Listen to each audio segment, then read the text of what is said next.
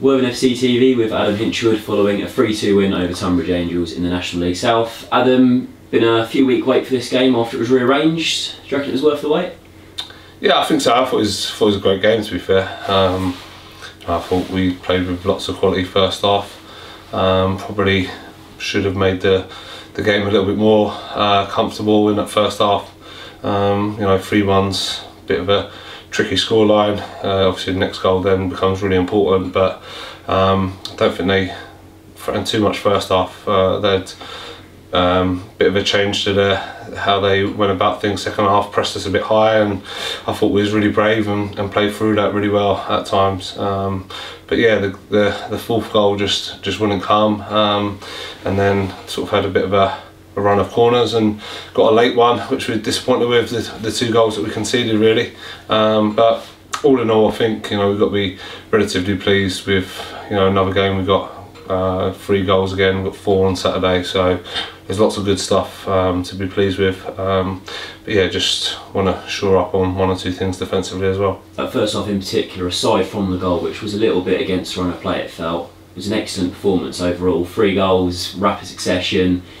Uh, you had to be happy with that first half performance to come out of the blocks like that. No, yeah, I thought so. I thought um, there's some really good play, exciting play, and that's what we want. Um, sort of been accustomed to over the years here, um, and you know I've heard the groans and frustrations within the the fans that that's not happened on a regular basis this year. So it was nice to to bring some of that back um, tonight. Um, but yeah, like I say, it's been it's been some good stuff Saturday as well. So it's been some good passages in in a lot of games, um, but I'm just pleased now that we're getting some wins for the performances because um, I think early on maybe some of these um, performances that we played well we just didn't get the win and we draw too many games. But you know it's now nice to get some goals with it. Um, and obviously get some wins is, is is really pleasing. Another man of the match display for Josh Chambers tonight, uh, including a free kick, uh, an excellent free kick. Nice to have a set piece taker again.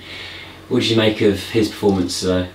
No, yeah, I think all the games he's played so far has been excellent. Um, like I said in that first game, um, he wants the ball um, in tight areas. I thought he picked up some space in between the midfield and their defence um, really well. There's a couple of loose ones where he just overhit his pass, um, which which we look at with him. But all in all, um, you know, I think it's been an excellent addition along with Mo. Added a bit more uh, quality to that midfield, um, which we've been uh, crying out for, in my opinion. So it's really pleased that they're both come and enjoying their football and, and playing so well. Um, and yeah, nice for Josh's family he's got another bottle of champagne just for Christmas. How's it looking for the pair of them potentially if they're, staying on a little bit longer? Yeah, um, obviously Josh is done Saturday, so we have to phone up um, yeah, the pals at Gillingham and try and beg for him to, to stay a little bit longer. But um, you know, if he doesn't, then you know it, it served purpose, served its purpose for us, served its purpose for him. Hopefully, he's got some game time, and I'm sure he's been enjoying his football. Um, so yeah, we're, hopeful that it'll be extended. Obviously, both Mo's a little bit longer. They run up until the new year. Um, so, you know, it's, it's good to get them secured. But yeah, how well Josh has been playing, we definitely like to keep and, and see some more with him and, and work a bit more with him. Looking elsewhere on the pitch, was there any performances that particularly stood out for you that really impressed you tonight? No, I just think like the depth of the squad at the moment is, is really healthy and like compliments to, to Sam, the physio. You know, we've got Lewis White and JB chucked back in today. Um, JB's got 90 minutes. Um, Joel come back recently. Um, he's got uh, two 90 minutes consecutively under his belt now as well. Um, I just think the depth of the squad. Um, no Dan Barry, no Conrad tonight. Um, you know, it's a real, real healthy squad at the moment, and uh, you know when you get your opportunity, you've got to take it, and um, you know that's that's what you want. Any any good successful team wants that, and uh, you know it, it, bodes well. So yeah, just the, the depth of the squad now with with the returning players. And to add to that, no Ollie Pearce or Ruben Austin tonight with uh, the illness. How are these guys looking? Do you reckon it's just a little bit, a little bit under the weather at the moment, and maybe ready for Saturday?